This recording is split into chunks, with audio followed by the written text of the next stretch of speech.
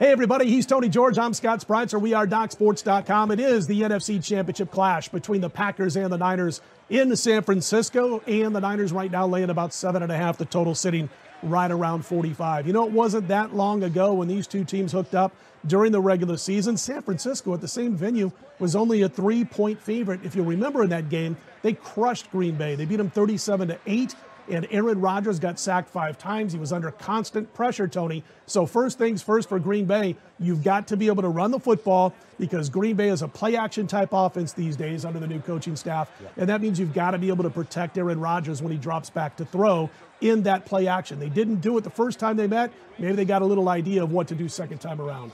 Yeah, you know, and if you take a look at the Minnesota Vikings game last week, folks, 27 to 10, total domination. Mm-hmm. That game, Scott, looked eerily familiar to me as the Sunday night game was when they played the Packers sure. and, and uh, mm-hmm. got Rodgers on the ground mm-hmm. with that pass rush. And I'll tell you what, right now, the biggest concern if you're a Green Bay backer in this game is that offensive line uh, last week had trouble with Seattle this defensive line of San Francisco is much better mm-hmm. than that.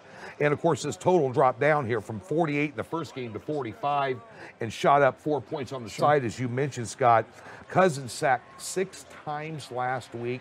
This defense is full of confidence. So you have that mismatch on the offensive defensive line, which usually spells doom. Mm-hmm. But then you have the best quarterback, maybe one of the best quarterbacks in the NFL, catching seven points in an NFC championship game, and he's been to a couple of these.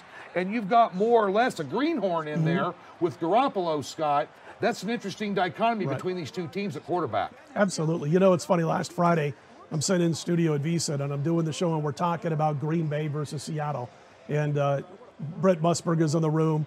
Patrick Maher, we're all on the dais, name dropper. Mm-hmm. And anyway, so we're sitting there talking about Green Bay, Seattle, and I said, and I'm getting to my point here, and I said that, you know, in this game between the Packers and the Seahawks, you've got Russell Wilson who's going to have to play MVP type football for his team to win. If one of these two quarterbacks doesn't have to have a huge game for their team to win, it would be Aaron Rodgers because right. you've got other guys who can take care of the offense as far as distributing the offensive, I guess, responsibility, you could call it, where it was all on Russell Wilson's shoulders. And you can't, you don't have to really say that in this particular game. This is a game where Jimmy G, if he gets the running game going around him, if he gets the passing game going with his tight end, then all of a sudden you got a situation where he can game manage a la Ryan Tannehill. That's all they want out of Jimmy G game managed because everything else is clicking and moving like clockwork on that offensive side of the football. If Green Bay can't handle the lead blocker, uh, the fullback right. for San Francisco, they're in trouble in this game. It's as simple as that because San Francisco will be able to control the football, control the tempo of this game,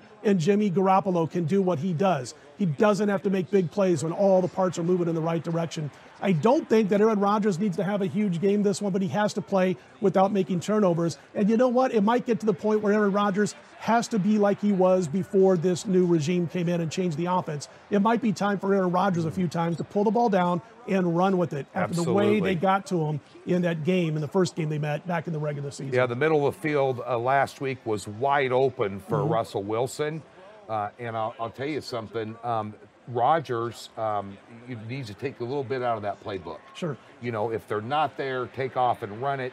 And I'll tell you what, they also on the other side of the field, as I mentioned, it was open on both sides in that game. Mm-hmm. If if Green Bay leaves the middle of the field open in this game, they are going to get shredded with that tight Absolutely. end that San Francisco has here. This is going to be a heck of a game, folks.